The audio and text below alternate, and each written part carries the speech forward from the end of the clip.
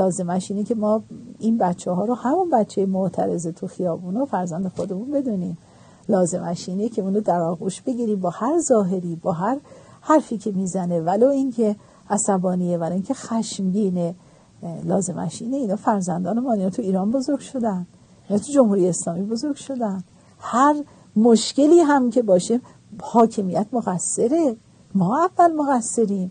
نمی‌تونیم ما الان یه بچه 15 ساله 16 ساله رو به صرف بدترین خطاهایی که انجام داده. اونو مقصر بدونیم خودمون رو مقصر ندونیم. از اون بخوایم خودش اصلاح کنه خودمون خودمون اصلاح نکنیم.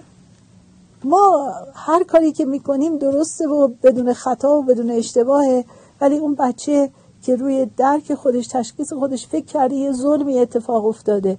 یک عمر بهش گفتیم پای منبر امام حسین بشین. و امام حسین گفته من دوست مظلومم و دشمن ظالمم یک عمر اینا رو براش روزه خوندیم گفتیم حالا امروز فکر کرده بر تشخیص خودش یک ظلمی رو تشخیص داده اومده این ظلم رو می‌خواد بیاد بهش اعتراض بکنه. بعد بهش بگیم تو مثلا جیرخوار اجانبی؟ میگه امام حسین جیرخوار اجانب بود.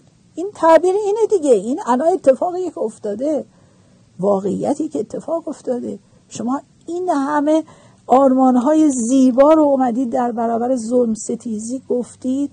این نسل بالاخره اینا رو خونده دیده تو کتاب ها گفته شنیده. بالاخره هر چقدر ارتباط نبوده یه جایی این حرفا اومده. همین اومده الان تو تشخیص خودش تو قضاوت خودش قرار داده. حالا همین شما داریم همین نقطه که نقطه قوته. چقدر خوبه که جامعه ما زنده است. چقدر خوبه که نسل جوان ما در برابر چیزی که احساس می‌کنه ظلمی بی تفاوت نیست. چقدر خوبه که قلبش زنده است. روحش زنده است. خیلی خوبه. چرا ما اینو درک نمی کنیم چرا ما فکر می‌کنیم صرف اینکه داره اعتراض می‌کنه چون در برابر ما داره اعتراض می‌کنه ما باید بهمون بر بخوره؟ چرا فکر نمی کنیم که این جوان الان اگر مرده بود اگر بیخیال بود اگر تحت تاثیر مواد مخدر بود هر چی تو جامعهش اتفاق بیفتاد بیخیال بود بی تفاوت بود این مرگ جامعه ما بود. چرا خوشحال نیستیم از اینکه این اتفاقات نشون میده که جامعه ما زنده است و ما باید واکنش درست نشون بدیم؟